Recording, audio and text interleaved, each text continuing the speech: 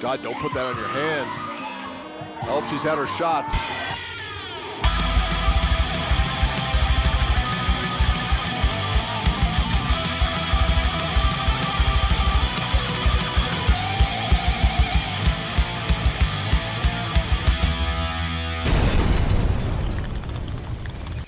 It's the Fresh Prince of Midair, Trey Miguel. Too sick for this world, Zachary Wentz. The Cardiac Kid, Dezmond Xavier. We are The The Rascals. Rascals. And you are listening to Total Non-stop. Impact. Podcast, baby. Woo! Welcome back, everybody, to Total Nonstop Impact Impact Talk for Impact fans, featured right here on the Impact Lounge. This is Trent, along with my co-host Kyle. Kyle, say hello. What a scumbag! Hello. What's That's going it? on, Trent? Oh, well, you know, I was expecting you, you. You fucking throw a curveball at me. I'm expecting you to say, "Kyle, say hello to the people." I was gonna say hello to the people. Drop my soundbite, but you threw you threw the curveball at me, Trent. I, uh, I, I, you know, I'm gonna, I'm gonna be honest with you, Kyle. I forgot the, uh, the people part. It's been, I feel rusty. You weren't on with me last week. I'm a little rusty here, man. I'm used to being alone now. For God's sake, this I, is. Uh, I come and go, Trent. This is what I do. I'm like the Artie Lange of the podcast. You know, I come and go. Did you see? You know, hopefully you're not the Artie Lange of the of the podcast. With, when it comes to his personal life, I'm No, sure you've No, seen. not me, not me, Trent. I'm an Artie angel. Artie was in the news last week. It was not good. It was not good. He had uh he's down to one nostril. It's not looking good for Artie. I'm talking Artie, like you know, lovable Artie from like 2004. You know, like that Oh, Artie, yeah. not not That's the new Artie. Artie. The new Artie is uh, up to no good. Like dirty work era Artie. right? Yeah, yeah, lo- oh, lovable yeah. Artie. You know, Stern in its Artie. prime. Ah, I, mi- I, mi- I miss that Artie. Yeah, absolutely. That. Artie was good Artie. Absolutely, but you know what, Trent? Uh, I come and go. I do, but you know what? It's kind of refreshing. I, I think it's it's good for the show because I mean it gives you good practice to handle it alone once in a while, but it's variety for the audience. You know, sometimes you don't got to deal with the blabbering New York idiot, and you, you just get your, your favorite brown guy, Trent, for the whole show. A little Listen, I'm smoother. gonna, I'm, I'll be honest with you, Kyle. Uh, listen, I'm, I'm looking at the numbers, right? Numbers don't lie. The numbers don't lie. The solo one I did, we had a big drop in numbers, Kyle. They don't want to hear just me. They want my New York asshole partner with me. They don't want just the brown guy. They don't want this caramel skinned Fabio only. They want. I don't know prick- about that, Trent. Apparently, our buddy uh, Mir Nissim last week, he fucking burned me, man. He, in the comments, Oh, yeah. in our comments, and we're about to do our comments right now, Trent. Uh, in our comments, said he's losing faith in me. Oh yeah, listen, I, I listen. I was losing faith in it too. I said, "Well, what the hell is this?" But got into Kyle. Look, it, here's the truth: is man, the numbers don't lie.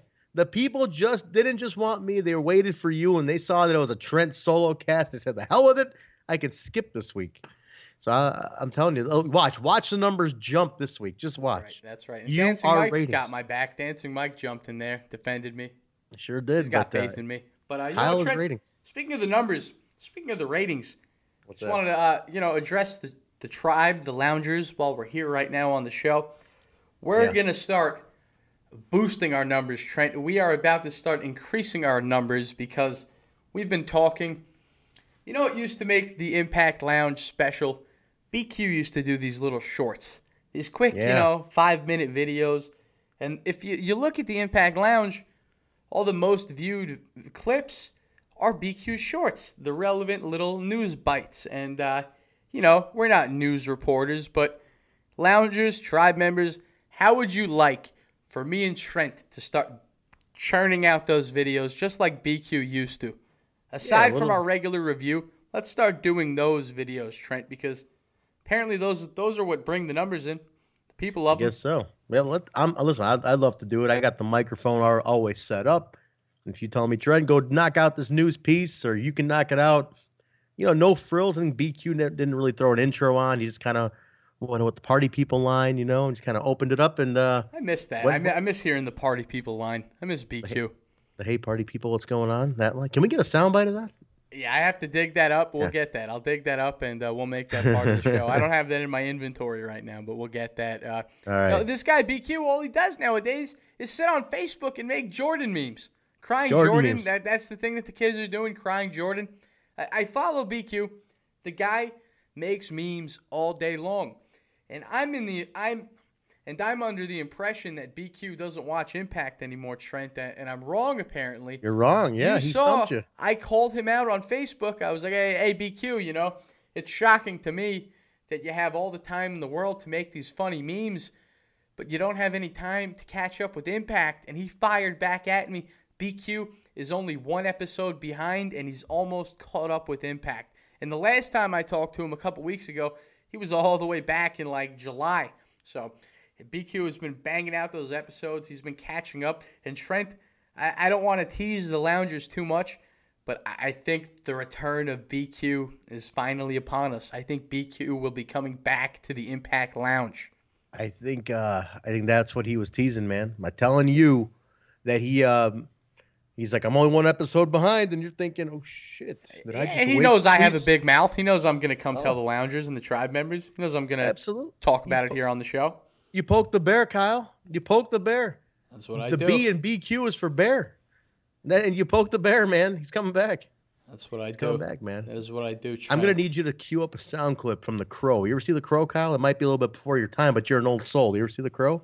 Yeah, of course, the Crow. Uh, you know, uh, it's Brandon with, Lee, uh, yeah, yeah, Brandon Lee. Uh, he died on the set of the movie. It's where the Sting character came from. Of course. That's true. All right. So the Crow. You know, there's there's a scene in there. I need, I need you to get the sound clip for when BQ's back or when he teases coming back.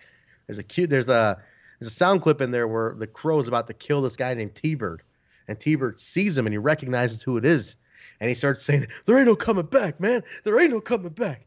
There ain't no coming back." There ain't. He starts freaking out, man. You're gonna have to put that in there. I As got soon you, as- Trent. Got to Gotcha. get that queued up. I need that. I need that ready to go as soon as BQ teases it. But uh, So- bef- before Trent, before we read the comments here, I wanted to ask you about something. Uh, Yeah, go ahead. just a, a, a piece of news that I, just, I can't stop thinking about. Can't get out of my head. It's been bothering me. Not bothering me, but kind of uh, stuck on it. Trent, uh, our friend Shotzi Blackheart, somebody who hasn't made too many appearances in Impact Wrestling, but when she did months ago, we loved her. We talked about her. We had the Shotzi barking soundbite. Yes, that one right there, right here. Um, she is selling pictures of her poop through PayPal to wrestling fans on the internet. You familiar with this, bucks. I, five bucks. Her shit's worth five bucks apparently. I saw that. What the hell, man? I don't What the know. hell we uh, living? I thought that it was a joke when I first read it, but as I uh, looked a little deeper, uh, she posted a screenshot of a transaction with a fan. Officially, she is really selling pictures of her poop. Five dollars through PayPal. That is, I, I'm speechless, Trent. I don't even know what to say. This this has to be a first. This is groundbreaking. I don't know, man. You got a lot going on in wrestling. You got uh, new promotions popping up everywhere. You got people showing up everywhere. You got people getting hurt. You got drama backstage. Now you got people talking about or people selling poop. I don't know, man. This is the, we've come a long, far way, Kyle, from the days of Harley Race and Dusty Rhodes, where now people are selling their shit. selling their And by- shit. And uh, you know what, Trent? I gotta say, uh, if anybody is dumb enough to give her five dollars for a picture of her feces, then you are dummy of the week. So let's get dummy of the week just out of the way right now, Trent. Uh, officially, anybody who is dumb enough to give Shotzi Blackheart five dollars for a picture of her poop, you are dummy of the week. Dummy, dummy, dummy, dummy, dummy, dummy, dummy, dummy, dummy, dummy.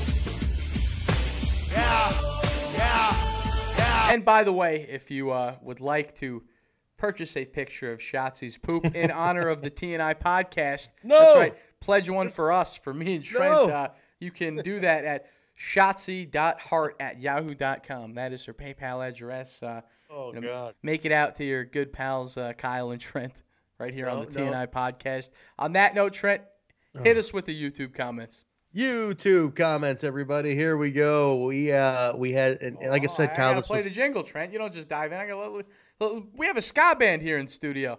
Oh yeah, cue Bring the out, band. Bring out the ska band. Cue the band. Let me talk to you. Comments from the loungers. Let me talk to you. Comments from the loungers. Let me talk to you. Hey, we we have a name for that band, Kyle? Do we have a name for the Scott for the uh for the the official the official band here? Or are we just kind of winging it? The total nonstop impact in-house band. I don't know. I mean, because you're the front man of a band, so I feel like I'm stabbing you in the back if we have an in-house band that you're not a part of, Trent. You got to bring. Why don't you invite your band members on next week, Trent, and maybe you can like kind of be like Max Weinberg on Conan O'Brien, like you can be the the TNI in-house band, but then also simultaneously be the host of the show. Might be able to make it work. And that would be kind of cool. That would be kind of cool. I can just I can just sit there making smart ass comments and just like throwing like a little beat or like a little riff every now and then. That's what I'm saying. That'd be cool. In-house band. But Trent, read the YouTube comments. I want to hear from the Uh, loungers and the tribe members, our family. All right. Well, family let me down. I gotta say. All right. I just because I was doing a solo cast. God damn it. You know nobody wanted to hear old Trent. They want they want Kyle. Kyle's the goddamn star of the No, show. n- nobody made you do the show alone. You could have called somebody. You could have hit up cousin Brian. You could have hit up Yeah. J Bone fifty one fifty. You could have hit up uh, any one of our pals. Kyle, when you tell me Trent, I ain't gonna make it this week. It's usually like 1.30 in the morning, the day before it's supposed to release, and I say, Kyle, you're leaving me holding Shotzi's bag of shit here, my friend. What am I supposed to do? Call J Bone at 1.30 in the morning? Call cousin Brian at 1.30 in the morning? That's a solo cast. I can start calling my dad because I know my dad's awake. I should start calling my dad. Wait, have him have him jumping on this when you're not around. He did a great job when he came on. I, I would not mind having Papa Zuberi back here on the show. I was very loved his uh his debut on on the microphone, my friend. He was uh he was digging being broadcast. I, I think I think he got the itch. You know, he was uh he was good. And he's like, I haven't uh I've never experienced this. You know, this is kind of cool. So maybe we'll maybe we'll do that. But Kyle, no more no more you leaving me hanging. People want the Kyle and Trent experience. They want the whole package. You know, so the family the family didn't come out as much when they heard it was, it was a Trent solo cast. They didn't leave as many comments. So I don't have too many to read this week, Kyle. They, they don't want me. I'm feeling a little left out, guys. I'm feeling a little hurt here. Read Nobody what we got, Trent. Come on. Um, it's the pity party. I need you to cue the violins right about here. Okay, all right. Here we go. Starting it off with this guy. This guy is this guy with the ideas, is this guy. All right. He has a couple. I'm going to read two different ones from this guy. He says, Am I the only one who doesn't care about AEW? A lot of the elite stuff is too corny for me. They're not that much better than WWE when it comes to hokey shit, just a little more clever and a little less PG. Brandi's voice is really annoying, and her smiles look so fake. I don't understand the Young Buck characters, and their outfits look stupid, in my opinion. Adam Page just looks like a cheap knockoff of James Storm or Te- Texano Jr. If Joey Ryan signs with AEW, I definitely won't be watching. I enjoyed watching All In for crowd size, Cody winning the NWA title, DDP hitting the Diamond Cutter, and that's it. I think the elite characters are heavily overrated. AW will probably start off like TNA did when they're on Spike, and then quickly go stale before they realize carrying over their BTE comedy to a national televised wrestling product just doesn't work in the long run. This is this is a thick question here, a thick comment here, Kyle, because I'm not a fan of it either. It's too hokey for me. It's not my style. I'm not into it. So I agree. I'm with this guy that it's just it's too hokey. What, It's what are you guys talking about? See, my issue here with his comment and, and your opinion or your agreement with his comment I is know what you're gonna say. we haven't seen anything yet. What are you judging? What are you basing this off of? I, I- don't even consider All In like the official first show of the company. I don't know. I mean, what are we critiquing here? Uh, their press conferences, their T-shirts. That's about it. I want to agree with you guys, you know, because I'm so pro Impact. You know, I kind of want to jump to conclusions too, but I'm not going to do that. I, I'm I'm going to play it fair. I, I don't know if you know this, Trent, and the listeners know this, but I'm kind of a fair guy. You know, I, I call things right down the middle. a regular Bill Alfonso over here, calling That's it right. right down the middle, huh? That's right. Speaking of Bill Alfonso, uh, we got a What's that? retweet on the official Total Nonstop Impact Twitter account that you could follow at We Talk Impact. Uh, we got a retweet from Rob Van Dam of all people when we tweeted out uh, a GIF or a GIF. Uh, the Impact Loungers can uh, GIF? chew my ass on that one. I, I don't really know it officially what it is either.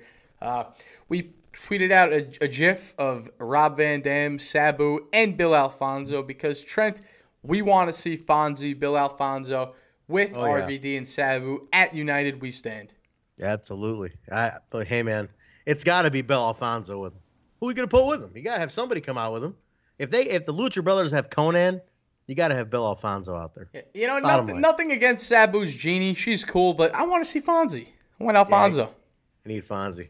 Uh, but yeah, man. All right. So that that was that's my opinion on. I'm I'm with this guy a little bit on this. Yeah, I love this guy. He always leaves us with great comments. You know, nothing against you, buddy, but I think you guys are jumping to conclusions way too early because you're just such arrogant, hard-headed Impact fans.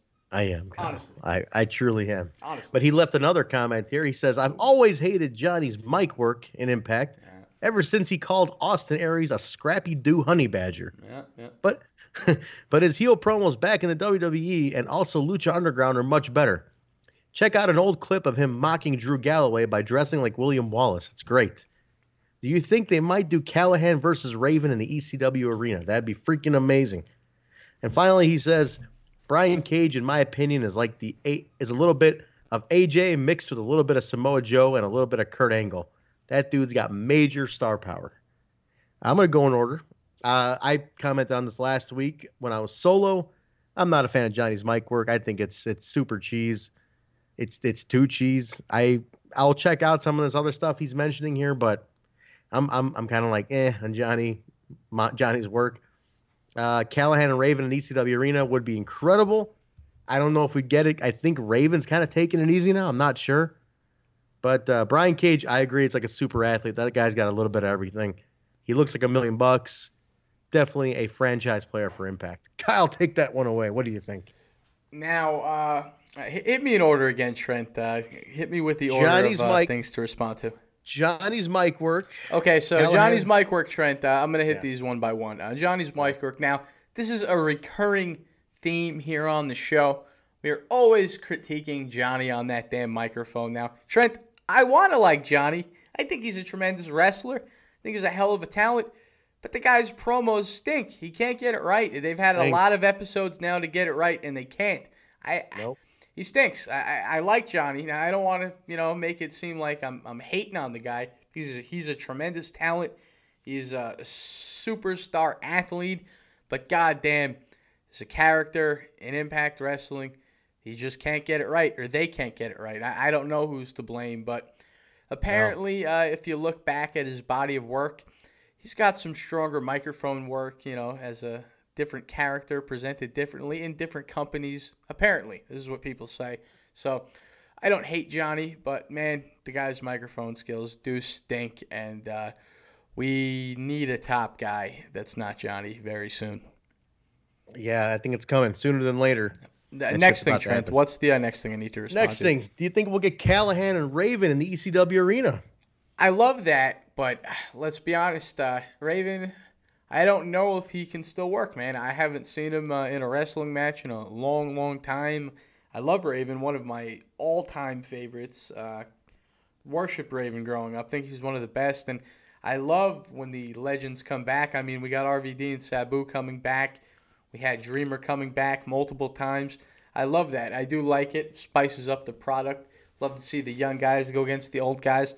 I don't know if Raven is going to come back and have a violent physical feud with Sami Callihan, Trent, but I would like to see maybe Raven come back and represent some young talent as a manager. I, I think he would be fantastic at that. Would you agree, Trent? I agree. I think that's where he's best served at this point. Wrestling for Raven, I think it's it's good to end it, man. I mean, he's Yeah, he's done. I'm sure all. he can. It's, he's too old. He's too beat up. What are you gonna uh, get out of it? You But know? you you can still get the microphone work between Sami and Raven and everything that you know this guy's clearly fantasizing about. But Raven's not going to be wrestling. But if he's a manager, you know, it, it would be good for the product. I would love to see Raven take on a manager role. Definitely. Uh, next thing, Trent. and he asks you. He says about Brian Cage being like uh, AJ mixed with Joe, mixed with Kurt Angle, major star power. What do you think? I agree. Uh, you know, I, I, let's give Brian Cage some time to develop and you know sharpen his uh, skills in Impact Wrestling. But I think uh, at this rate, uh, we have a super, mega, major, tremendous star on our hands, Trent. Tremendous. Agreed. And we also all right. So Next question. Next question. next next comment here. Next comment. I, I love I love our loungers, but we can't give people ten minutes at a time. Next one. No, that's fine. All right, next one. Jamie Wisner says Konnan is definitely turning on LAX. and the Lucha Brothers are definitely winning the tag team titles. I don't read spoilers. I'm just gonna I'm just going by the vibe that I've been getting from the last couple of Impact episodes. Uh, we're gonna get into the results of this week, so we'll get into that. And then he also says, "I am glad there's finally a podcast that doesn't bore people to death about ta- talking about WWE. I'm glad you guys are 100% WWE free. I also have to say thank you for being a podcast that is all about Impact Wrestling. Jamie Weisner, thank you for that comment and for that compliment. That's what we do. yes, That- Trent, I'd like to point out that you referred to Jamie as a he. Jamie could be a he or she. We do not know if this is a, a dude or a lady. Good point. Jamie, clear that up for us. Clear I know you'll comment. us. But thank You'll you for the love and thank you for the support. Absolutely. Richard Carlich says, Congrats, Trent, on getting Rebellion right. And who needs Kyle? Oh, look at that. Kyle, I got one. I Thanks, got one person. Dick. Can I call you that, Dick? You all right with It's that, Richard. Dick? It's Richard. Thanks, thanks. I yeah, yeah there, there's there's the first guy on my shit list. I, I, I'm developing a shit list here on the show. You know, the people that attack me and say things about me and insult me in the comments rudely because I, I, work hard on this, Trent. You know, I might skip once in a while, but give me my props. You know, I, I, I do put some work in here on the show. What would this show be without my my my my sound bites, my insanity? I'll tell you, man. The, the numbers this week showed. The numbers showed. They're killing me this week. You got Yes, yes, Richard. Thank you, thank you for that. I'm gonna right. remember that. Hakeem Fullerton says, "Do you guys think Kongo Kong should make a return to Impact TV? If so, do you think he and Jimmy Jacobs should rekindle his feud with Johnny Impact, but this time for the world title?" I am a big no on all that. I'm not a Kongo Kong fan. I don't think he fits the current landscape at all for Impact. What do you think?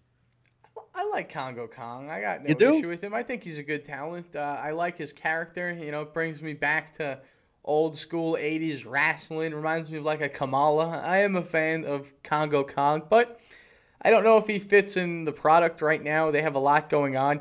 I really don't see a space for him. They had him around. He, he did some good things. He was a fun little project. I I loved seeing the full circle experience of him and Jimmy Jacobs working together. But I just don't know if he fits anywhere in the product right now. What what what Here's let me flip it on you. Not you, Trent. I'm talking to wait, who wrote this to us?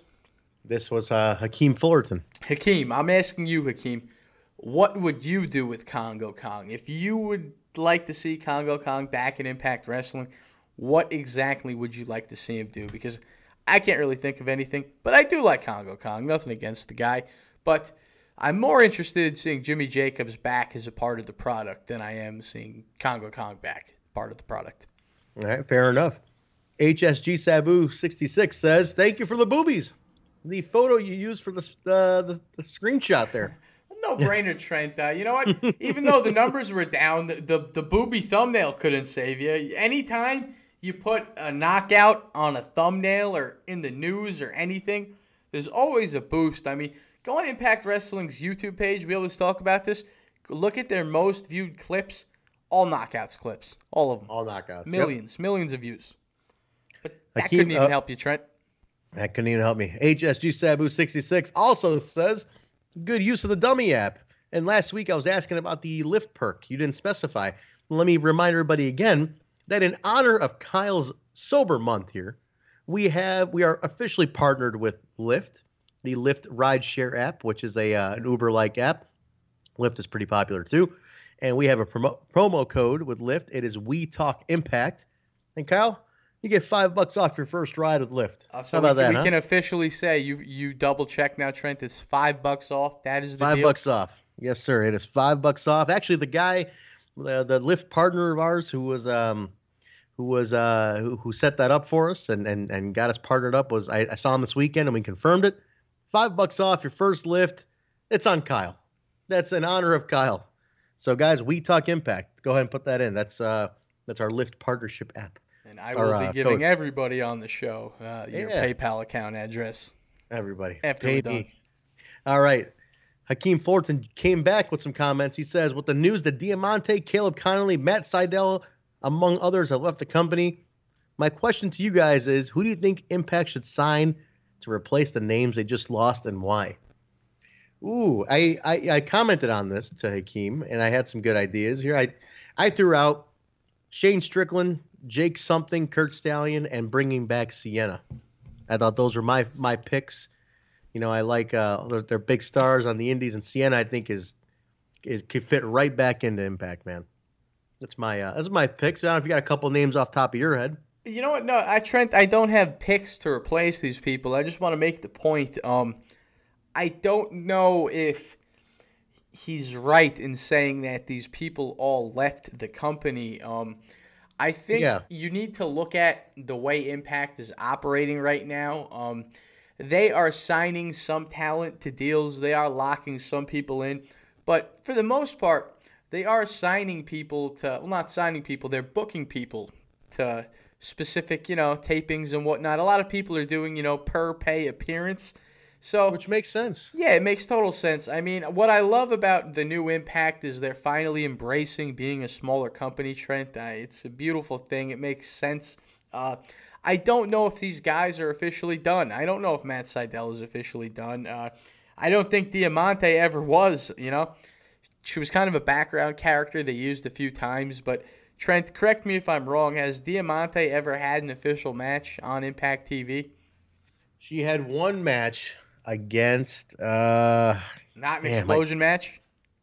Said Impact. no, not explosion. it was an imp- I believe it was an Impact match. I saw her in one match only, is what I can remember. But they barely ever used her. So No. I don't even think she's a good example. But No. keep in mind, folks, the way Impact works nowadays, yes, some people are locked into deals, but a lot of guys are just working on per pay appearance. That's why, like, you might see Scott Steiner show up once in a while. You might see Tommy Dreamer show up once in a while. Hopefully, see Eddie Kingston again. You know, you never know what they're gonna do. It's exciting and it makes sense. So, I don't know if all of those people are gone from the company, but uh, Trent, I do like your picks, and I do like the suggestion. I do like the suggestion of Sienna coming back. I'd like to see her come back. But Trent, that's enough comments. Let's get into the review. Shall All we? right, the re- review it is. Oh man, I was looking at other comments. There's so many more. Actually, there was a lot more. All right, Trent, well, pick, Trent, look right now and pick one great one, and we'll just end it on that. Oh, one, man, the all best one you see quickly. oh man, all right, all right, Mi- I'm gonna give. Oh, nobody leaves me comments. Apparently, you have too many to choose from. Yeah, it's true. There, there are a lot. Comments, Trent. There are a lot. All right, I'm gonna go with the Doctrine of Mayhem here because he put me over in this one. He says your band should definitely be on Impact in some form. Oh fuck you, you self-serving prick! Of course you're gonna pick the band plug. All right, read read your plug. Oh, good for you. Get your plug off, and then read one more, and we're gonna end it on that. He says your band should definitely be on Impact in some form. Intro theme for a wrestler, and and well, your band has a hot sauce. I love hot sauces. Might have to scrape some shipping together to get it. My favorite match has to be the Rascals versus Eli Drake and Eddie Edwards. Uh, maybe there's a mid card title in the works. Didn't they post on Facebook or on a website a long time ago something about the history of the TV title or Grand Championship? I hope so. It's really needed when you look at this talented roster. First of all, thank you very much. Please, guys, I am working on getting some music over to Impact. Let them know. Tweet Impact Wrestling. Tweet uh, K Sully TV, Kevin Sullivan TV. He's their producer. Let them know you want to hear it. Let them know you want Hemi on this uh, on on Impact, guys. And the hot sauce you can get at HemiMusic.com. I got my own hot sauce, Kyle. It is FDA approved hot sauce. This is some good shit. It better be It's good called- hot sauce. None of that called- shit. No, it's that called pepper Soul water. Taker, Soul Taker hot sauce, baby. This is some good shit. Uh, but yeah, all right. I'm gonna jump. I'm gonna jump into one more. Then we're getting to the review, Kyle. One One more. more. All right, one more here. Uh, let's see here. Let's see here. Let's see here. Uh, god damn it. God damn it. God damn. I get a good one here. Mir Niece, I'm sorry, but I'm losing faith in Kyle. You motherfucker. All right, on with the review, Kyle. Here we go. What do you think? We're gonna end it on Mir Neeson telling me he's losing faith in you. I'm losing faith in you too, Mir Neeson. Oh, poor guy. Poor guy. All right, guys, we are here to review the February 8th, 2019 episode of Impact Wrestling live from Fronton, Mexico, which is right uh, in uh, Mexico City. This is part of the Mexico City tapings. And uh, we went in hot. Crowd was really hot for this one. The main event of this one was uh, was really hyped up. So this was a hot show. This we we have built to a main event really nicely on this one. But all right, Kyle, we kicked it off pretty heavy. Willie Mack and Rich Swann taking on OVE, and uh, good match, man. It was it was it was a pretty. These guys have fought each other a bunch. It was a it was a lot of lot of back and forth. Pretty pretty uh pretty fair match, I would say. Rich and Willie win with Rich doing taking out a taking out, I believe it was Dave with a 450. So they go over. But I noticed Kyle in this one, they were they've been really uh they've been really pushing they're really pushing the uh the OVE and Rich Swann thing more every week. It's more and more, you know. It's uh it's like it's like they're really trying to sell that that that storyline. We still don't know fully what the hell's going on, you know. It's like it's like there's more rooting into this Rich Swann and OVE thing. So I don't. I, I'm not sure where it's going after after what we got last week with the explanation. I don't, I don't know. What do you think, man? Where, where do you think they can go from here? Like if Rich does go to OVE, I mean, what do we do? I mean, that's it. That he's just an OVE or what? You What know what. Trent? It's confusing to me because they're still building towards something with Sami and Rich. Yeah, but now, Sami but now, naturally, on the internet, it looks like Sami and Aries are going through something, which we're gonna talk about in a little bit. We're gonna uh, break this up and do our Twitter exchange of the week. But it, it's confusing to me that I have this idea that they're setting up Aries and Sami again, but they still have this story to tell between Sami and Rich. Trent, I have no idea where it's going. I don't see Rich turning heel and joining OVE. I, I really just did they have me at one of those points where I have no prediction, Trent. Uh, maybe you can enlighten me. Do, do you have an idea for this? Because I, I got nothing. I just don't know what you do with it. I, I think I think maybe it was uh maybe it maybe ends up being like a like a like a ploy to you know goad Rich into a match and Sami getting the the X Division title. Maybe you know that I'm thinking maybe that's where we can go with it. Yeah.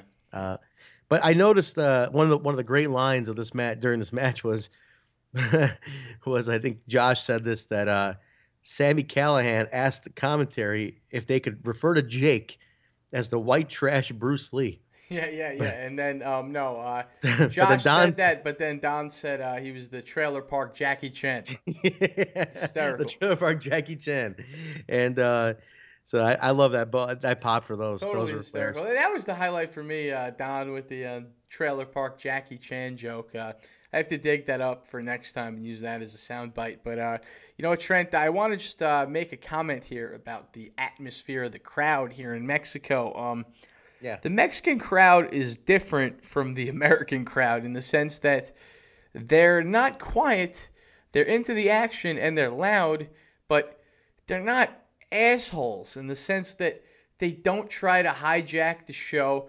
They don't chant "This is awesome" and fight forever every five minutes. They don't try to get themselves over. They're just some, you know, respectable, cool fans. They're just there for the fun, man. Just That's the there idea, for the right? fun. They don't try to hijack things. That- Yeah. that was cool. They're different, like very different. I, I like that in wrestling. You know, got the Japanese crowd, now the Mexican crowd, the American crowd. Every crowd is different. You know, wherever you go. Which is why I think it's cool they go to Mexico sometimes. A lot of a lot of people I noticed were a little down on Mexico. They're like, ah, the crowd's different and doesn't have the same energy. But I think it's kind of cool. I like the variety, Trent. I like the variety. It's a different atmosphere. Uh, I agree. Changes up the show a little. You know, you're going to see a bunch of guys from AAA. Uh, good variety for me. But I've seen that too, Trent, even in our own comments here on the Impact Lounge. Uh, the last time around that they went to Mexico, people were critical of the tapings, but I happen to enjoy them. I think they did a better job this this taping with the um with the crowd placement. They laid it out a little differently. They had the crowd a little bit closer. It helped, man. I think it really helped. So, but I noticed, uh, you know, the crowd was was split on this one. Some were into OVE, some were into Rich Rich and Willie. So uh, it was fun though. I mean, again, just furthering the furthering the story. So nothing too crazy, but just to kind of move things along. We go from there, Kyle. The Lucha Brothers in the back, little promo to hype the main event, just kind of hyping it up. I noticed they've been getting really a lot better with the promos, a little more direct. Uh, I love that camera effect that they put on. I remember I asked cousin Brian about that. He said uh, he knew exactly what it was. I don't recall. It was some some cool camera effect that they use. It really uh, really adds to their their promos. I like it. I like I like seeing those guys uh, talk. Yeah, no, I like that too, Trent. That uh, OVE has their own promo style. L, uh, LAX has their own promo style. The Lucha Brothers have their own promo style. It's it's very cool, cutting edge production of the show. It's different, very different. it, it just gives everything a unique feel. You know, every segment, every character has an identity that way. That's what you want to have. Like when you see a Scarlett segment, you usually hear her music in the background. You know the smoke show stuff. Uh, love it. I I love the way they produce and edit the show. I love it. So we uh we go from that little uh they they go to and announce that the uncaged main event for next week is now a four way, and it's going to be Johnny versus Moose versus Cage versus Kross for the title. Uh, originally, it was just Johnny and Cage. So they announce that to us. We get that real quick, and then uh, we jump from that. So this is the little block of of some some segments here, but we jump from that, Kyle, to the GWN flashback of the week, which is um, Bruce Prichard opens it up, and it's about the tag team titles and talking about stripping, uh, putting the tag belts up, and it was LAX's debut, and I like that because and I, and I don't normally talk about the GWN flashbacks, but I like that because it was cool to um, it got you a little more hype for later on the show because we're talking about current talent. That's LAX. not what I got from this, Trent. Uh, it was Ooh. cool seeing the LAX part at the end. Uh, you know, it, it was relevant to tonight's episode and the fact that we're going to see the LAX versus the Lucha Brothers. But Trent, this flashback put me right in the feels, man. I, I got emotional during this flashback. You know why, Trent? Why? I miss Decay. I do. I miss Decay. And this flashback got me thinking about Decay. And I'm going to ask you, Trent, and then I'm going to turn it around to the audience. And uh, hopefully they respond in the comments. Trent, do you feel like Decay had too short of a run? Or uh, am I just thinking that? Because, you know, it's in the rear view, it's in hindsight now. Did Decay get too short of a run? I don't think so. I don't think they did. I think they got. uh I think any more would have been a little would have been burnout. I think they left leaving you wanting more, and I think that's the key. But the issue here, Trent, is I thought we were going to get Decay again. I was on this podcast swearing that we were going to. And then, right when we read that Crazy Steve is back around working uh, at least uh, Xplosion, I don't know if he's uh, working Impact at all. I haven't seen him in any of the tapings yet. But the thing is, Trent, Abyss got signed to WWE right at that. And now we know we're definitely not going to get a Decay reunion. And I, I miss Decay, Trent. I, I- feel like we got screwed. But then again, it's like Decay is kind of like a TV show that only lasted one season. It's, it's like Freaks and Geeks, you know? Like, y- you wish it would come back. But sometimes when it does come back, it's not as good. It's not That's the same. So maybe That's- maybe Decay was just a moment in time, Trent, a perfect moment in time that we can uh, relive on the GWN app forever. And maybe Decay doesn't need uh, a second chapter, but I would like to see him again. But if Abyss is working in WWE, it's impossible. It's not going to happen. No, unfortunately, it's not going to happen. But you know, like, I- like I said, they they leave you wanting more, man. They they left on top. Like you said, Freaks and Geeks is a good example. It uh to this day that show's 20 years old, man. And to this day, people keep talking about it. Still, me and my friends still uh, crack Bill Haverchuck jokes all the time. One of the best shows ever, Trent. But thinking about it before we, uh, you know, end this tangent and go back to the review where we were, um, I got to ask you, Trent, if Crazy Steve does come back into the mix, would you like to see a new faction with both Rosemary and Crazy Steve? Hey, we were talking before about Raven being a manager. I mean, there are a lot of different directions it could go. Would you like to see Crazy Steve back in the company with Rosemary, or uh, is that not for you? That's not working. Just leave the memories of decay alone. I just don't see it fitting into this into today's landscape of impact, man. I just don't see it. He was there, like, okay, I'll give you a perfect example. I was at the impact or at the uh at the asylum when he wrestled uh, a match, you know, which was I think um it wasn't even a dark it was just like a dark match. And uh you know, people were giving him the old welcome back and this and that. And I was like, all right, it's cool, but he looked out of place, man. He it just didn't didn't fit. It did not fit for me. I don't see it. I, I I couldn't really. He's good at what he does. He's good at presenting himself. He looks good, but it just doesn't fit with today's landscape of impact. It's not. It's not impact today. Hmm. Well, I hope that he does come back down the line and makes you eat your words, Trent. And we do see another rise of Crazy Steve in the company. But let's end that tangent, Trent. Let's get back into the review, shall we? All right. All right. All right. Well, geez, Kyle, you gotta you gotta you gotta you gotta downplay my my my feelings here. I don't All know. You know, I, I think sometimes Trent, you just love to poo-poo and naysay. I do. I, do think that. I think it's fun to disagree with you. Yeah. Talk to those who disagree. A wise man told me that one time. I, I, I- Trent, I think you're just developing this personality as the devil's advocate here on the show. That's what I think. Not a bad thing. Not a bad. Good movie too, by the way. Good movie. I liked it. All right, we uh we go from that to Kiera and Jordan warming up backstage doing squats, and you know, Jordan, you know that that's now we know the secret to Kiera's uh uh let's just say her assets, Kyle. Yes, um, yes, her assets. her assets, and then Jordan's teaching her some some better form. Even Jordan's showing her how to really do the thick mama pump squats, you know. And so she's showing her. We go to commercial. We come back off of that. They tell us that the NFL alumni and Impact have formed a partnership to help kids in Las Vegas. And Killer Kross was there playing golf with everybody. It was quite the sight. But uh, Impact and the NFL have formed a partnership, which is pretty cool. And then go to the match: Allie versus Kiera Hogan, Dark Alley, I should say uh, accompanied by Su Yung, and Kiera's coming out with Jordan Grace.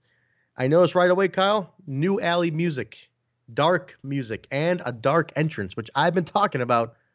I mentioned this. I think they're listening to us, Kyle. I really think they're listening to us because I talked about this weeks ago. I said, I said, if you're gonna have her be dark alley, she's got to come out to a dark entrance. Turn the lights off. And sure enough, Kyle, what do we get in Mexico? The goddamn lights are off. It's dark and it looked so much cooler. It added so much to that character for her to come out in, into in a, in a dark arena. Man, I thought that was cool as shit. But um, I thought that was good. That was good. And then uh, Kiera, super aggressive. She she was really there to fight. I liked it. Allie gets uh, Jordan takes out Su Yung on, on on the outside. Allie gets distracted, and Kiera takes the win. So big win for Kiera on this one. Big win for Kiera. I now I'm just lost, Kyle. Where do we go from here? I mean, Allie's freaking out. They tease a little bit of Jordan. I mean, uh, Rosemary in there. I don't know, man. Where where do, where do you where do you see it going? Where, what do you think? What where, how much longer are we going to wait for this showdown?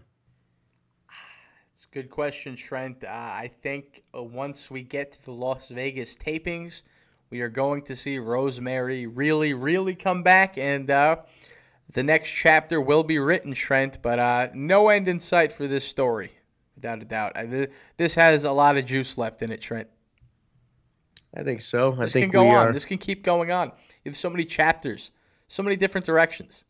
We got to add some elements to it, though. If we're gonna have chapters, we got to add we got to add more elements to this. You know, what I mean, we got to keep we got to further it with something. It can't just be like you know Kiera fighting Allie and Allie fighting Kiera and Allie fighting Jordan. It's got to be something's ha- something has to happen here. You know, like Su's got to take out somebody or somebody's gonna get hurt or there's got to be a bloodbath. I don't know. Something's gonna happen to keep this uh keep this ball moving here. So we'll see. Well, Kiera So- is not part of the story for no reason, so keep your eyes on Kiera Hogan, Trent. I'm calling it now. Fair enough. We go to the back, and some guy named Rolando Jimenez, he who calls himself a, he's like he says I'm Rolando Jimenez, investigative reporter. I don't know where the hell this guy came from, but he stops Johnny Impact in the hotel lobby, and then he says, uh, he says, uh, you know, he tells me, he's you know, what do you think about this uh, this change in the main event next week? Johnny's like, what what are you talking about? You know, you're super cheesy, Johnny. What are you, what are you, what are you talking about? You know, what, what, main event? What's going on? and uh, he basically tells him that it's now a four way, as announced by Impact. He's going to be taking on Cage, Kross, and Moose the main event. Johnny's thinking, uh, "What the hell? I'm getting screwed. This sucks." And uh, while he's he's complaining about it, uh, Cage walks up casually, like like he's just strolling through the hotel lobby, and he says, uh, "Oh, you heard? Sucks getting screwed, huh?" And he just strolls off, casual, casual Cage. Should be his new nickname, Casual Cage. I don't know. Would you? What do you? What do you think about Rolando Jimenez, investigative reporter? Where did this guy come from? It should be you. Rolando. I'm, I'm, a fan of Rolando, Trent, but uh, another example of Johnny Cheese Packed. This guy is Johnny- cheesing it up, stinking up Oh. the microphone. Super cheese. Listen, I work for Kraft. I know cheese. I know Kraft cheese. I work for Kraft. I know I know cheese, and God damn it, that's cheese. I don't That is- think is- Kraft sells cheese, Trent. I, I think they sell powder, you know? Powder that you mix Hey Cheese powder. boss, hey boss, he said it. Okay, not me. I, I just want to go on the record saying I'm not the one Hey, saying I, I love Kraft mac and cheese. Kraft mac and cheese is delicious, delicious treat. But Trent, Johnny is a cheese ball, cheese ball, cheese ball promos. But I do like cheese. Rolando. I thought that was kind of neat. It was kind of cool to change it up and have an investigative reporter running around backstage. Uh, you know, now that Rolando has been on Impact Wrestling once, he's out there. You know, he's got Impact on his resume. You never know when he's going to become All Elite Rolando. You know, very possible that Rolando gets signed to All Elite Wrestling any day now. So keep your eyes on him. One appearance. Hey, we've signed Rolando Jimenez, That's right. investigative reporter. That's to- Continue, my friend. The way this shit's going, man. Who knows? Um, big announcement here, Kyle. After that, after Rolando, we had a huge announcement for WrestleMania weekend. The partner show that Impact is doing with WrestlePro at Rahway, at the Rahway Rec Center in New Jersey. The main event was announced. It is the Lucha Brothers, Pentagon and Fenix taking on. I can I can't believe I'm, I'm going to see this match. I live to see this match. Rob Van Dam and Sabu. F- fucking nuts. I, it's an extreme dream match. I, I don't even know what to say. I got no words for this. Kyle, you're an East Coast guy. This is up your alley. What the hell did I just get announced here? What? What? What? I mean, I'm I'm speechless. I'm s- speechless at this. I'm a big mark for these two for these guys. Oh yeah, oh yeah, Trent. Uh, you know what? Uh, big RVD and Sabu fan. Uh, it's funny because the venue that this is taking place at, and uh, this is the Rahway Rec Center, and the Rahway Rec Center is known for its super cards. They are known to put on these these legend shows all the time. So it, it's not a surprise to me that when Impact comes to this arena, they're gonna put on a match like this, an extreme dream match. Trent, the Lucha Brothers, RVD and Sabu. I'm totally psyched to see it, but I'm gonna be honest with you, Trent. Uh, you're gonna have to come pick me up on the way if you're gonna be hitting the East Coast, Trent. I'm riding with you. I'm not traveling alone. I'm riding with the boys. Me, you, cousin Brian, whole gang. How far is Rahway from uh from New York City? I, you know what? I was a little concerned. They were saying uh, you're gonna make it quick, but uh, I've never attempted the drive, Trent. I always take from Penn Station. There's an Amtrak right to Rahway, and uh, there's the Rahway Train Center is directly across the street from the Rahway Rec Center. Well, that's where we're going. It's gonna be a tough drive, but I- think we can make it, Trent. Pedal to the metal. I think we can make it. Uh, we're taking that train from Penn Station, man. That's what we're doing. Get that train, get that, get that, that that Metro card going, brother. We're going. We're taking that train. Oh yeah, oh yeah. And uh, when you're in Penn Station, uh, right next to the uh, Amtrak, there, there's a Krispy Kreme, Trent. So get ready to stuff your donut hole with some Krispy Kreme glazed. Um, you know, it's funny you mentioned. I was just talking about Krispy Kreme. I was in Austin, Texas this weekend for AAW, and they had a Voodoo Donuts. You ever heard of Voodoo Donuts? They're out of uh, they're out of Portland, I think, Originally, I just drove past the Voodoo Donuts the other day. There's one next to Chipotle in Jersey Mike's uh, somewhere near where I live. I saw Voodoo Donuts. I was checking it out. Voodoo Donuts, huh? I was uh, I I was not impressed. I, I this thing's been hyped for for years to me, years, man. And I was like, that was it. Uh, it's cheap for what they are, but I'm like, that was it. Voodoo Donuts. Uh, I don't know. I was I was let down. I had it in Austin. I was like, man, I don't know about this. That that was a big letdown. I'm a big. uh, I think uh, Stan's Donuts in Chicago way cooler, way cooler. Mm, That's just me though. Uh, Krispy Kreme has my vote, Oh, Trent. We're I gonna love be eating some Krispy Kreme, Krispy. Kremes when we make that trip. I'm riding with you, Trent. We're going. We're hitting Rahway. Oh, I, I was just saying about how I missed Krispy Kreme when I was at Voodoo Donuts. That's what I was getting at here. I I love Krispy Kreme. We're doing it. All right, but yeah, Rahway it is, guys. Okay, we jump from that. We go from that to our, our to a backstage segment. Allie and Su Yung. Allie's freaking out. She's like, she's here. She's here. I know she's here. What's gonna happen? She's here. She's here. And uh, kind of you, you see the, the fuzzy screen, and uh, the TV once again has a message from Rosemary to Allie on there. Once again, she is infiltrating Allie's space and freaking everybody out. So Rosemary making her presence felt. But the spirit of Rosemary's there. She knows she knows she's coming. She knows she's getting there. Mind games, Trent. The mind Mind games. Those mind games, they'll get you every Oh time. yeah, it reminds me of when Hulk Hogan saw Ultimate Warrior in the mirror. Back the. Yes. That's what it reminds me of. Mind Games. Good song by John Lennon too. You a John, you a Beatles fan, Kyle? I don't think I ever asked you that. You I'm like a the Beatles? fan. I I enjoy some Beatles. Uh, me personally, I'm more into like uh, druggy Beatles. You know, I like druggy Beatles, the the, the latter part of their career. But Yeah, oh I yeah. do love some Beatles. Gotta love the Beatles. Gotta love the Beatles. All right, cool. Uh, all right, so we go from that. Rohit Raju with Raj and Gama Singh, Chacha Gama Singh, I should say, taking on Trey with the Rascals. And uh, dude, this was this was a good match. I I love that Rohit got got some solo time to shine. Where he, I mean, this they gave him a lot of time in this one too. I was like, it's pretty shocked. I did not see them giving these guys a lot of time but uh, it was cool, man. Rohit really got to shine. By the way, side note, Kyle, we had we're still we're still working on getting Rohit on the show, so we want you guys to leave questions for us to ask Rohit Raju. He's going to be on the show pretty soon.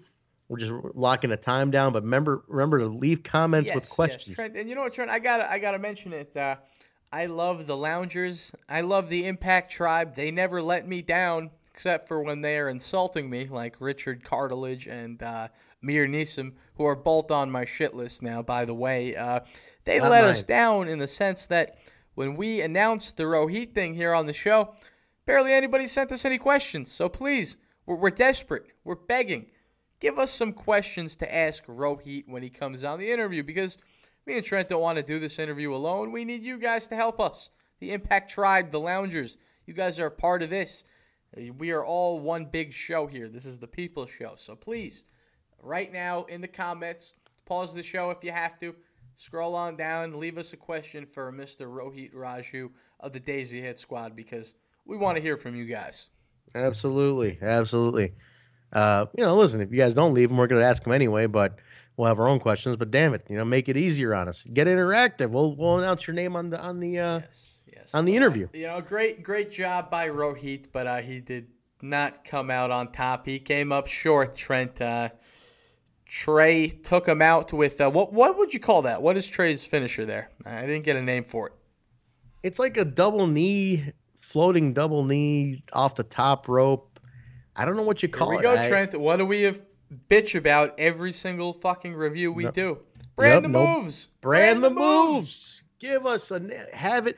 Josh Matthews should be backstage with Trey and saying, "What the hell do you call that move?" I'm going to announce it, and then you sell the shit out of it throughout the show.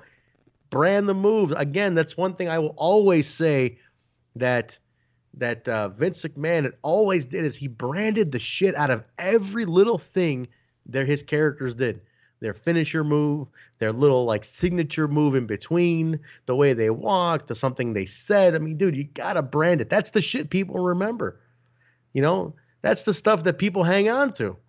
So you gotta brand the moves. Yeah, There- there should be you no have reason. to stop leaving us to guess what these finishing moves are called. There Please. should, be, there should be no reason why we don't why we're sitting here right now going, what's the name of that finishing move? You know what I mean? We, there's no reason.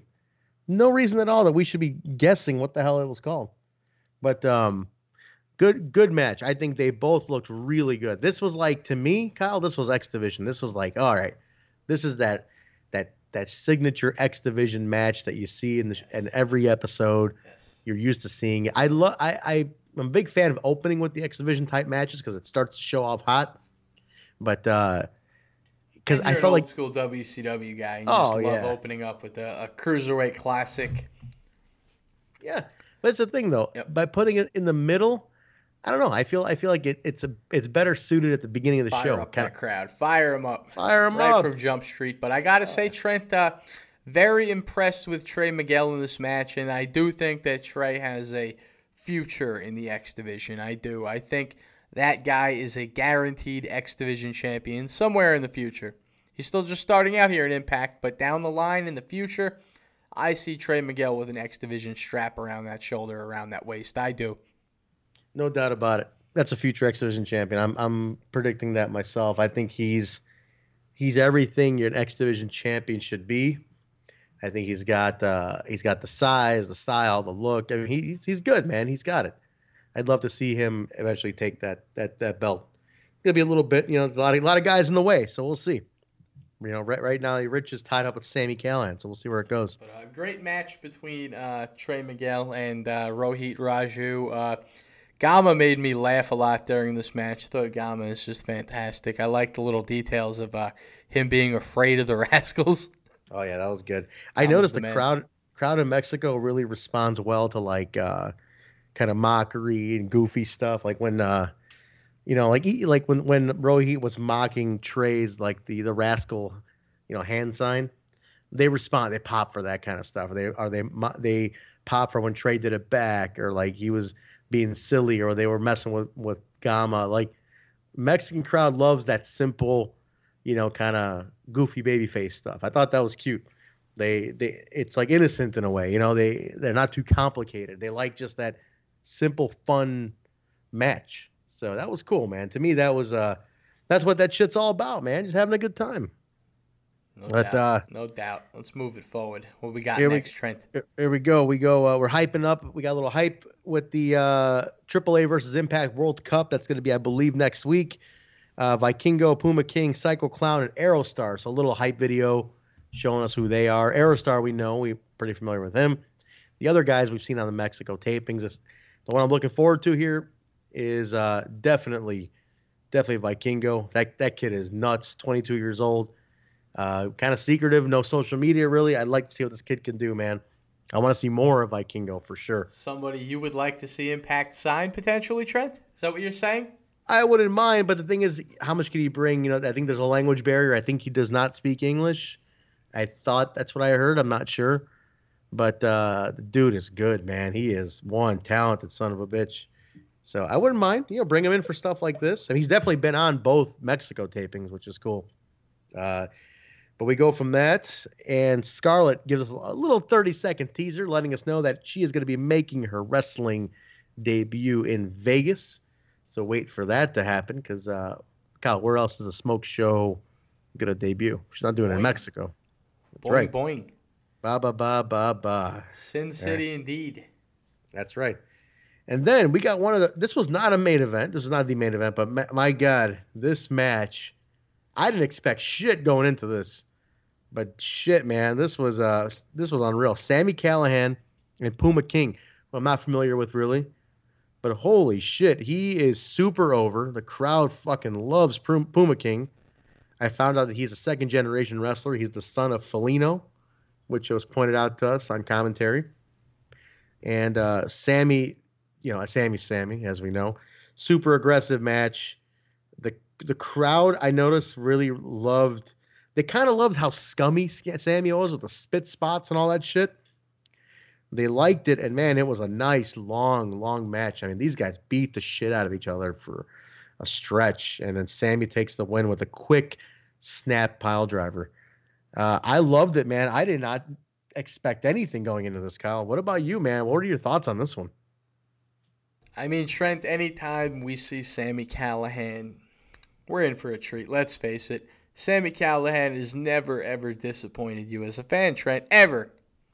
Never. But give Puma King his uh, fair due. Puma King. I wasn't familiar with Puma King uh, before this matchup, Trent, but uh, hey, you know he didn't uh, he didn't do anything wrong. He hell of a performer.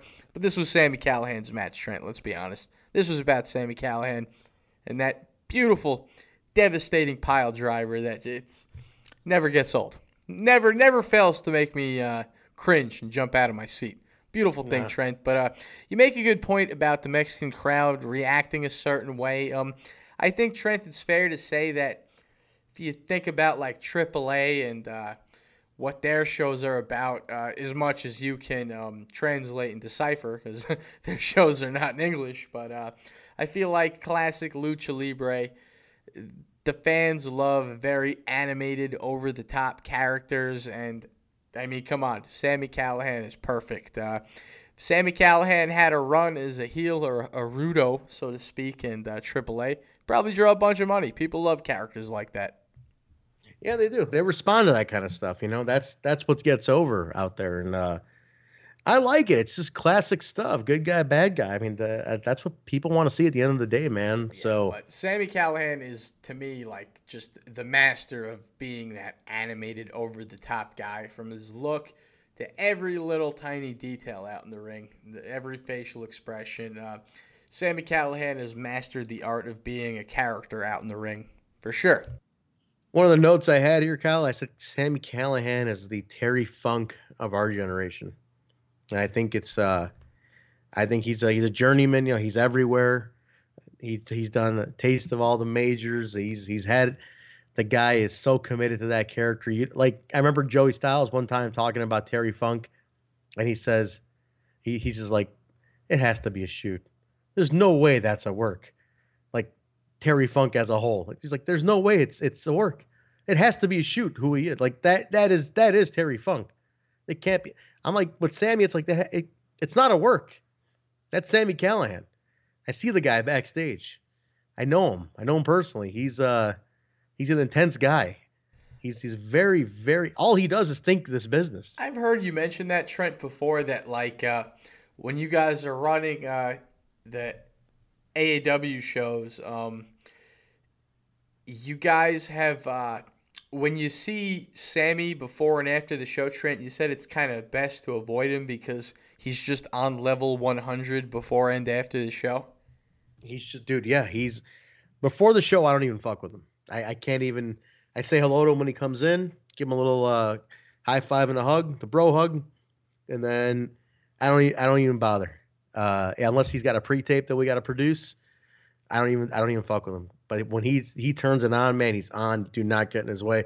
Afterwards, he's cool. He's chill. After the show, he's super relaxed. And uh, but the guy's in his zone, man. Talk about a true artist for the craft. Uh, Sami Callihan is is incredible at what he does. I, I I'm I'm like honestly, I it's so crazy because like he's this regular dude, you know, like he's he's like my height.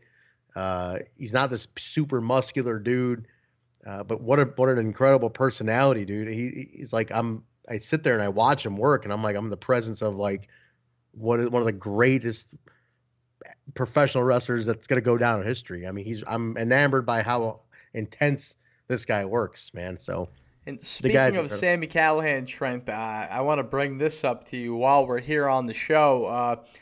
Did you catch the Twitter exchange between Sami Callihan and Austin Aries past couple days? Have you seen any of that, Trent? I have. I, I have seen that and holy shit. why don't you why don't you tell people about it?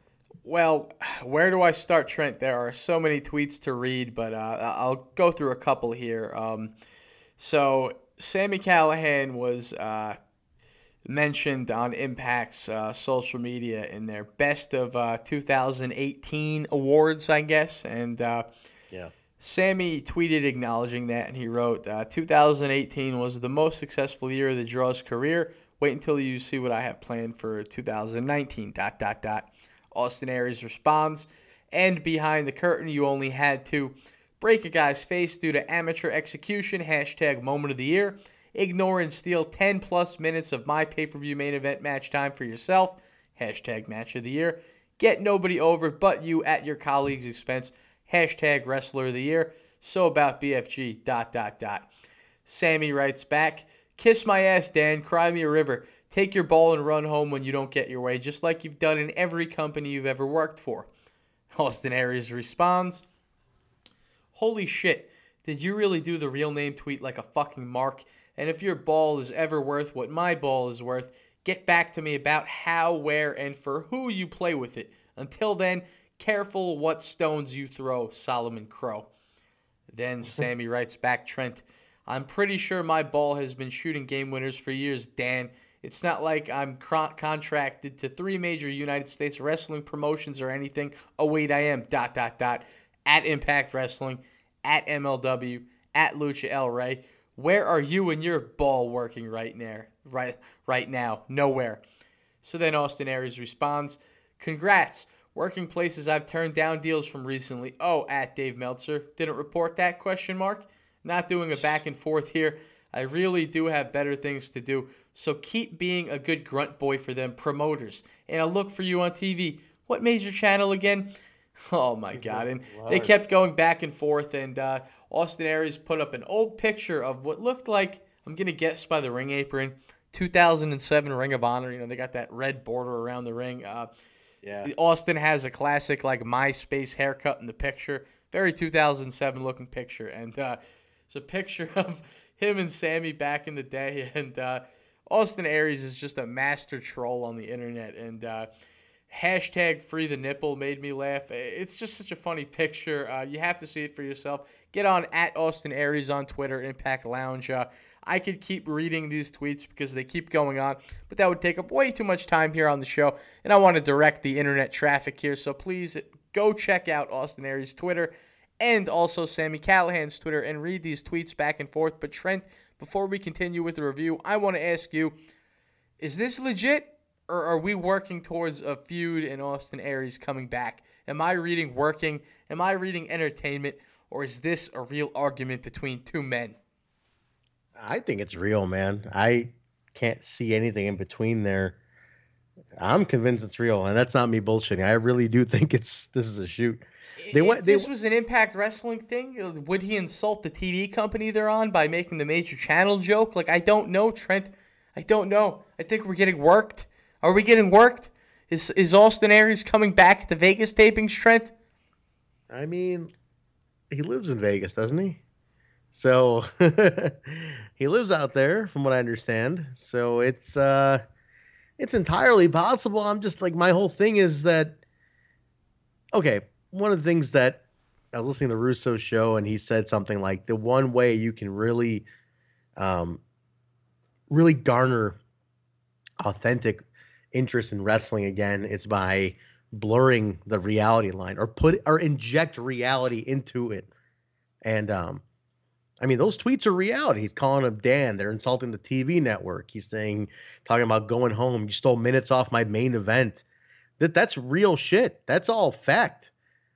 And so I'm like, holy shit. I mean, they're not holding back on anything.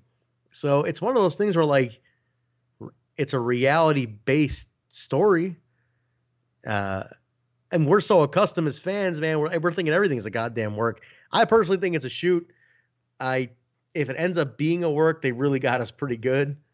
Uh, but I'm going with shoot for now. I don't know what, what I want to put out to the lounge, man. What do you guys think, loungers? Our Impact Tribe. What do you guys think this is? Uh, work or shoot? Let's hear it. No, you're you're getting work, Trent. No way. So Trent, are you telling me that you don't think Austin Aries is coming back to Impact Wrestling anytime soon? I don't think so. Okay, I think so uh, Trent, here's what's gonna happen. If Austin Aries shows up at the Vegas tapings, you have to shave your head.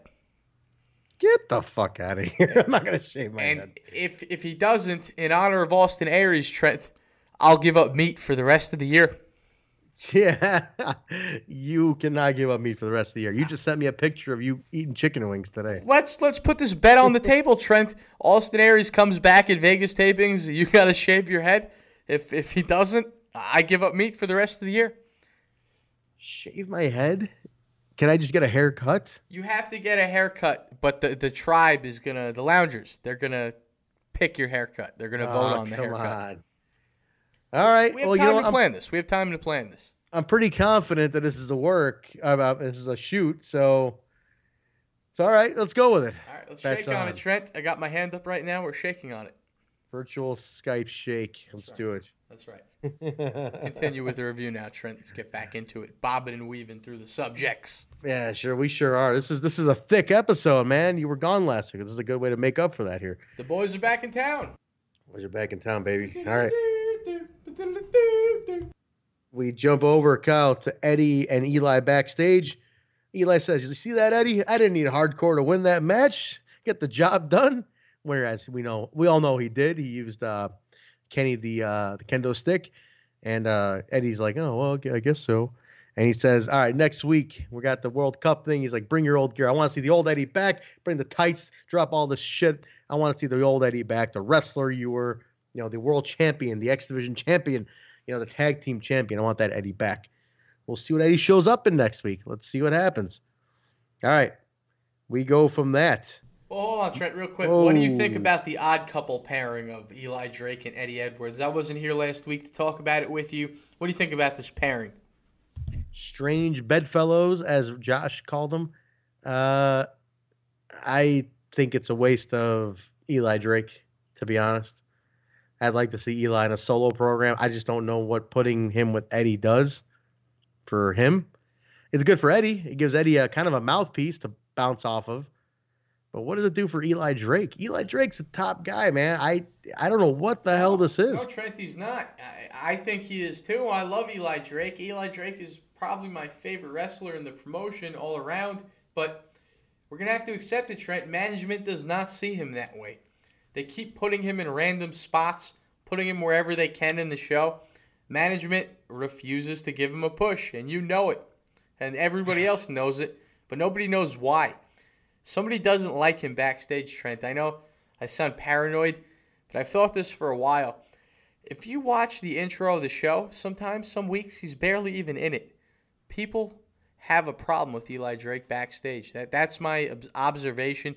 That's my speculation.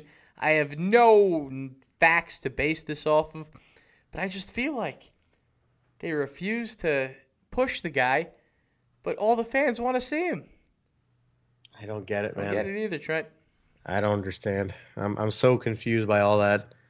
Maybe it's leading to something. That's all I can do is hope for that, man. But you know that's wishful thinking. You know that's Very. wishful thinking. Very, very wishful thinking at this point because I thought by now you'd work him into something. I know the main event's stacked, but this is why you need a fucking mid card title, man. Why not have a TV title or a US title or something? Eli Drake could carry that so nicely. Yes. We're wasting that mid card so goddamn bad right now. I want Impact to be on the right side of history when it, you know, comes to Eli Drake's career and his body of work, Trent. I don't want him to leave the company, go on somewhere else, and be a super successful main event world champion in a different company because I don't want to be left here saying, wow, Trent, Impact didn't know what they had with Eli Drake. Impact really could have did this with Eli Drake. Impact could have did that with Eli Drake. Why did they refuse to just give the guy the title? I know Trent. There's a lot of a lot of sharks in the pond.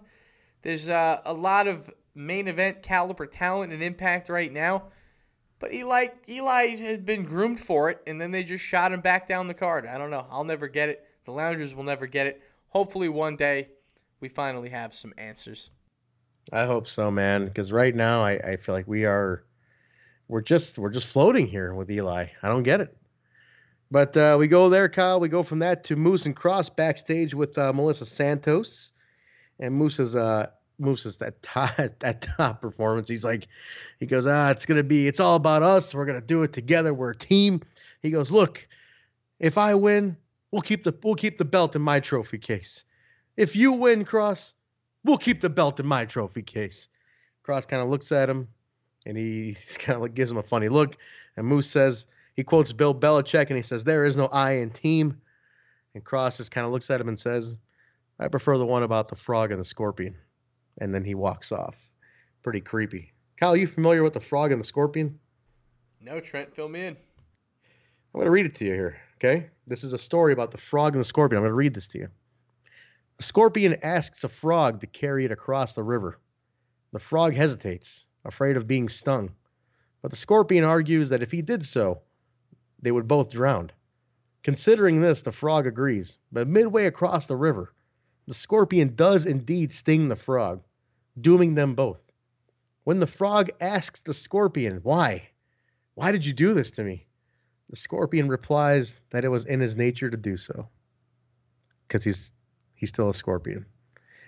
Now it's kind of subtle, right? We're going with Kross. Basically, Kross is giving you a message there that you might be my friend, but I'm still Killer Kross. I'm still the scorpion. Ooh. You're my frog. You're helping me across the river, but I'm still a sadistic bastard, and I'm gonna stab you when I when I don't need you anymore. Been saying it, Trent. Trent, I said this on the Bound for Glory review we did months ago. A guy like Killer Kross, he doesn't need any friends. What the hell does he need from Moose? It's, not going to last long, Trent. I, I think between the lines, Killer Kross was letting Moose know he's going to kill him someday, but Moose is just too dumb to see it.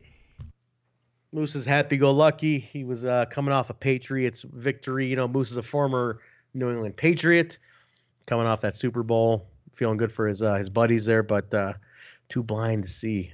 He's You know, too, too- uh, invested in his outfits and his Gucci scarves. It's to Too high pay more clouds. attention on Killer Kross. Head in the clouds, too blind to see. He's not seeing. He's not noticing what is right in front of him, and that is the scorpion. Killer Kross. But uh, all right, man. Main event. This is it. This is what we've, we've been waiting for here, Kyle.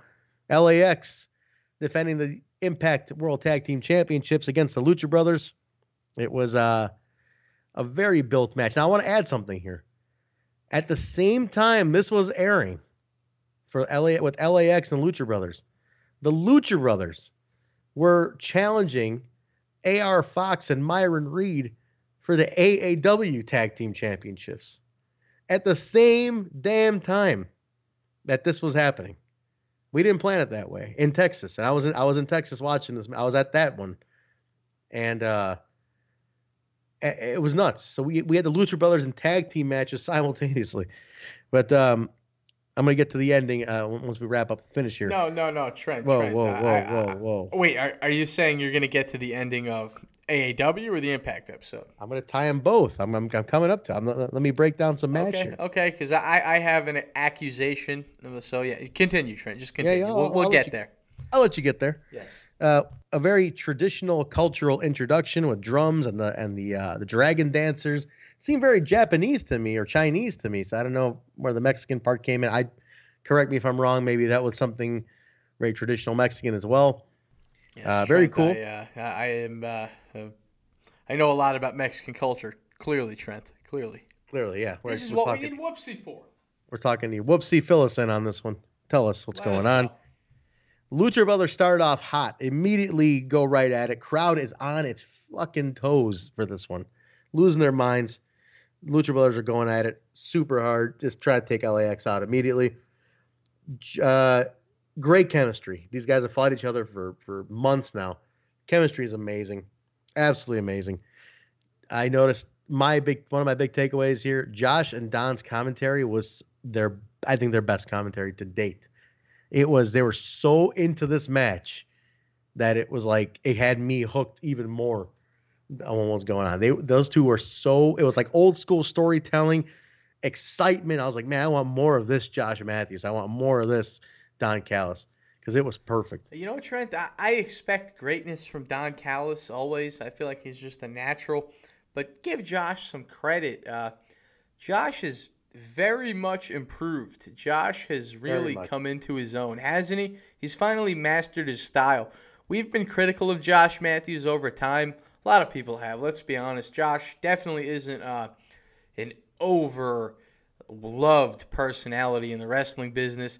You know, he he has no affiliations to like the Bullet Club or anything. He, you know, his roots are in WWE, so he's got the bias against him naturally. Stupid fans hate him, and they don't know why he they hate him. But uh, I gotta say, Trent, Josh Matthews has improved so much since he first came into Impact.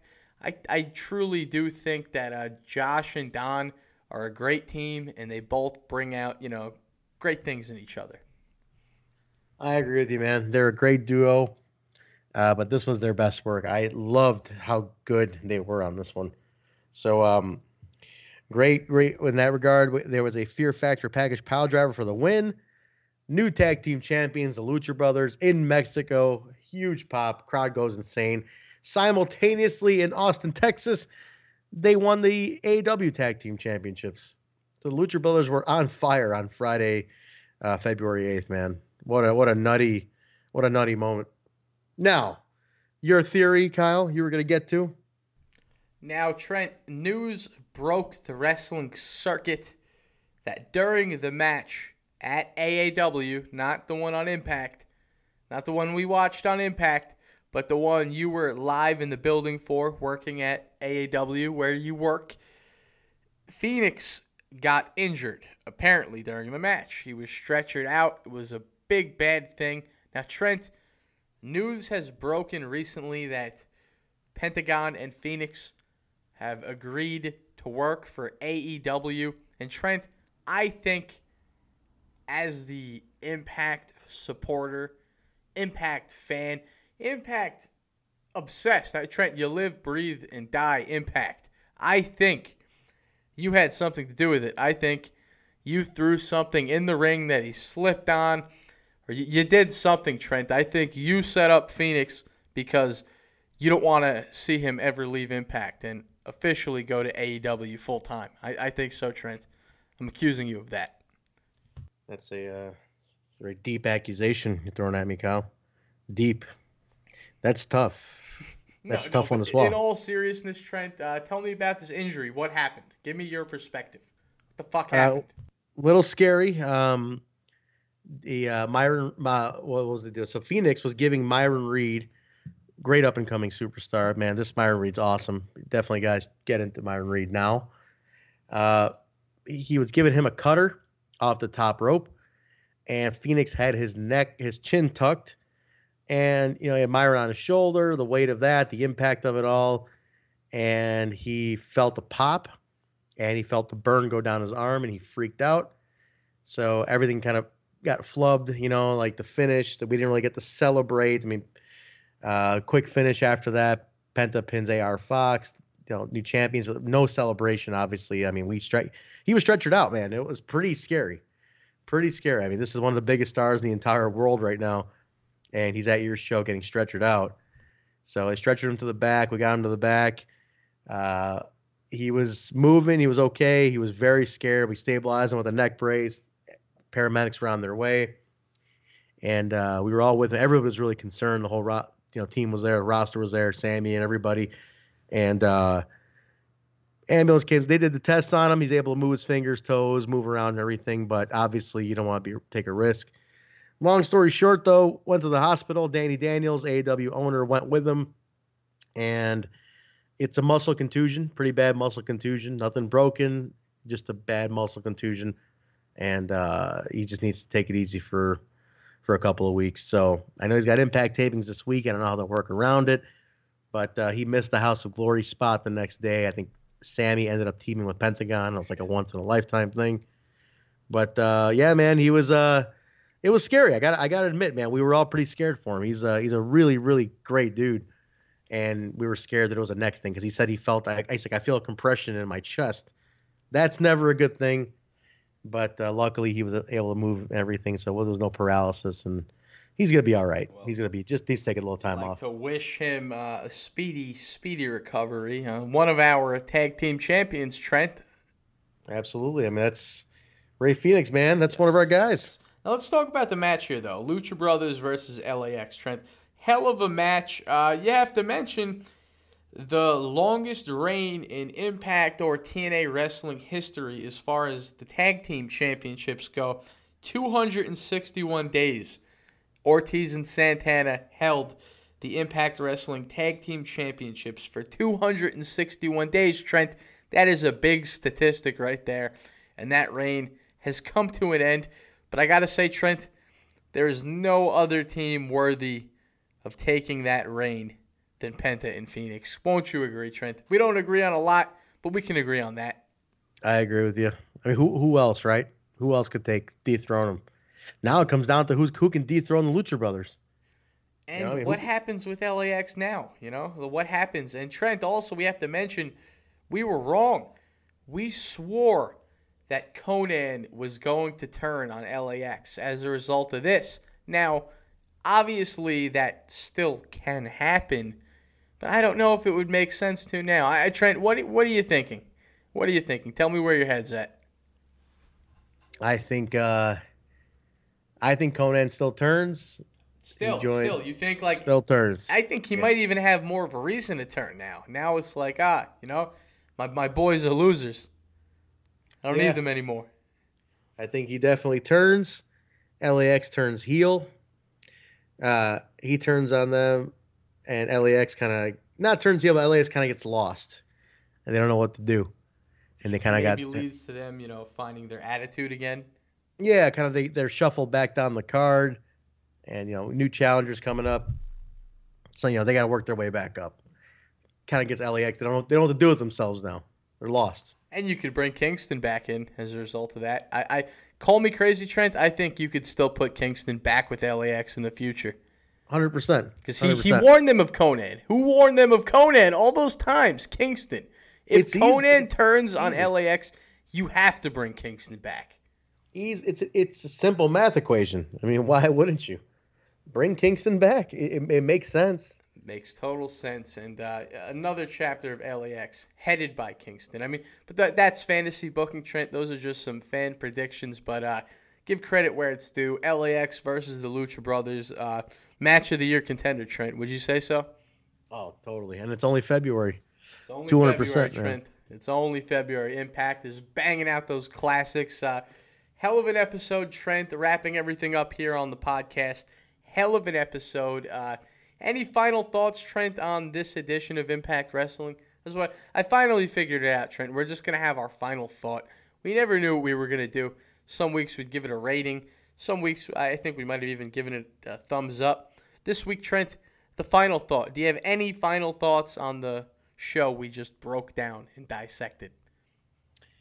I'm gonna say my final thought is it was a uh, it was a, a show built to a main event with uh, furthering of all others. It was it was I think it was a, success- a successful show. It, it, exa- gave me exactly what I wanted to see.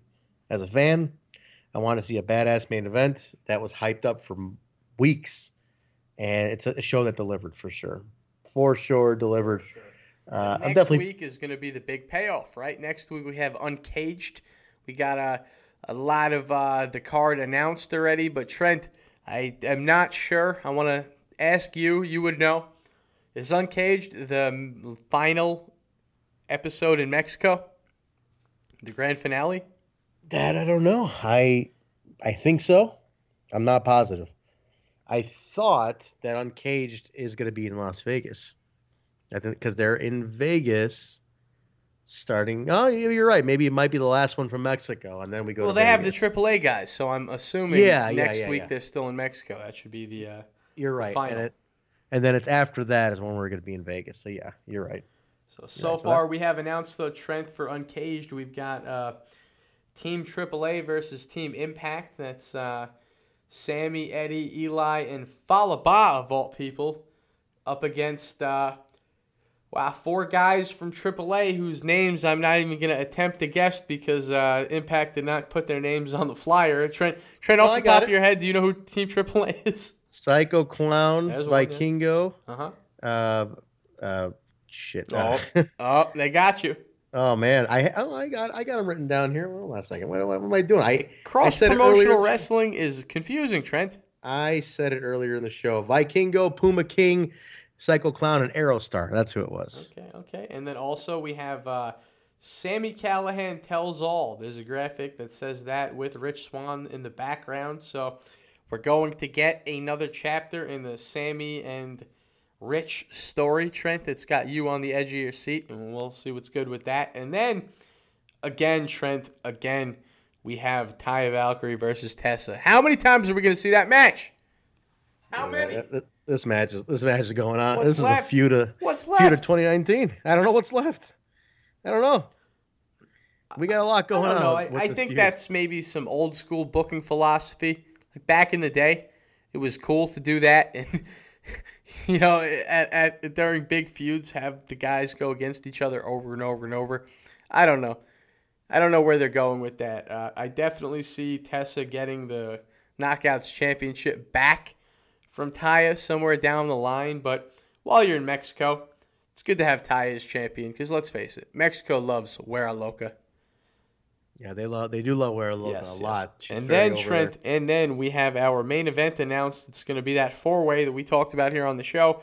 Johnny Impact, Brian Cage, Killer Kross versus Moose. All four of them. That's right. Johnny versus Brian versus Killer versus Moose. Whole gang in this biatch. Trent, who's your money on? Who's your money on that one? I think I'm going with man. I'm going with uh with Kross. I think I'm going with Kross, and I think Cage continues to get screwed because he's he, he's he's keeps getting screwed. Cage gonna get screwed. Kross takes the belt. We're off to the races in Las Vegas. Here we go. You know what, Trent? I think that's a good call. However, I think there's going to be some shenanigans. I, I don't think it's going to be a clean finish. And I think uh, Mr. Johnny Impact is going to retain the championship uh, in this case because I feel like if he didn't, somebody would have spoiled it for us already. Uh, we have problems with the spoiler rats. I think somebody might have uh, would have spoiled it for us already. So I'm gonna be safe and guess Johnny Impact. But if Johnny Impact loses next week, I'll have faith in the internet wrestling community again because that means something major happened and nobody spoiled it for me. So my my guess is Johnny Impact, but Trent, I would like to see Killer Kross get that gold because Killer Kross is just the ultimate right now in professional wrestling across the board. You know, Trent, when I was watching this episode, had a funny moment. Uh, somewhere in this episode, uh, it was actually Killer Kross and Moose's backstage promo. Um, my dad, who hasn't enjoyed wrestling in many, many years, he was captivated by Killer Kross's promo work. Now, usually, he'll just walk by, you know, the wrestling on the TV and just laugh at it. He's not into it. But Killer Kross's words made my dad stop and enjoy the promo. Really? That's how you know this guy can translate to a casual audience. He has the it factor. He's got it in the ring. He's got the look. He can talk better than anybody, and he can back it up in the sense that he can carry that character on his Twitter account. You know, it's not like somebody's writing shit for him and he's good at regurgitating it. The guy knows how to. Uh, I, I don't know what to call it. Like, he's just like Sami Callihan in the sense that he never turns it off. Literally, he never turns it off. So I just think that Killer Kross is uh, proving himself week by week as the top guy in all of professional wrestling, and it would be an act of injustice if Impact doesn't capitalize on him now and give him the championship. Now, Brian Cage is definitely due for it down the line, but you're going to keep screwing him. We're going to keep pushing that. Keep screwing Cage, and I would like to see Killer Kross get the belt. Nothing against Moose, just don't think it's Moose's time right now. Yeah, not yet. I don't know if Moose is. There's just too much before him, you know, to for him to get that belt. They could, they could just. I mean, you could twist it and, and put it on Moose. I mean, that's what I like about Impact is that it's unpredictable, man. A lot of it is unpredictable. I mean, they could right. throw us for a complete loop, and Moose ends up with this belt, and and then it's like nobody fucking gets it. Like, ah, man, neither Cage or Kross, the two obvious choices, didn't get it. Now what? You know, it- I think I I love that about Impact that they keep you guessing for sure. That's right. That's right. And Impact Tribe, Impact Loungers, let us know right now in the comments. Obviously, before the episode airs Friday, who are you predicting walks away with the Impact Wrestling World Heavyweight Championship at the result of this match? Is it going to be Johnny Impact? Is it going to be Brian Cage? Is it going to be Killer Kross? Is it going to be Money Moose? Who knows? Let us know right now in the comments. Trent, we've done it all. I think it's finally time to put the podcast to bed here and let everybody go. All right, well, let's get the plugs in, Cal. The plugs. We got to get the plugs going. Plug it in, plug it in. All right, guys, you can find this podcast wherever podcasts are found Apple, iTunes, Stitcher, SoundCloud, Google Play, iHeartRadio, TuneIn Radio, and Spotify. Also available on YouTube at the Impact Lounge, as well as the Total Nonstop Impact channel, which where there is a simultaneous, a simulcasted playlist of what you're seeing on the Impact Lounge, uh, featuring Kyle and I here. You can also connect with us on social media at We Talk Impact on Facebook, Twitter, and Instagram. Uh, follow us, get a hold of us, you know, interact with us. We love talking to you guys. Uh, you can also uh, make sure because it's a favor we want. I want. I need you guys to do me a favor. Do us a favor. If you use any of those podcasting apps, you know, iTunes, Stitcher, SoundCloud, whatever it is, throw us a rating, throw us a review. It helps us get seen by more people, by more Impact fans and iTunes. The more ratings we got, the more we get seen. Guys, it takes two seconds. If you have an, an iPhone, you, you look us up in the uh, in the iTunes store and just throw us a rating. It'll get us up there, man. So definitely help us out. We appreciate all the people who have so far, but definitely subscribe to us on YouTube. I mean, get all the numbers in. It doesn't cost anything. It's all free. So we appreciate that, guys. Uh, Kyle, you are now on Twitter solo, man. You want to tell people where they can find you? KL underscore TNI. Follow me on the Twitter sphere right now, please. Boom. Please, loungers. Follow him. Get get him some numbers, guys. That's numbers. right. I'll follow, Follow you me. back.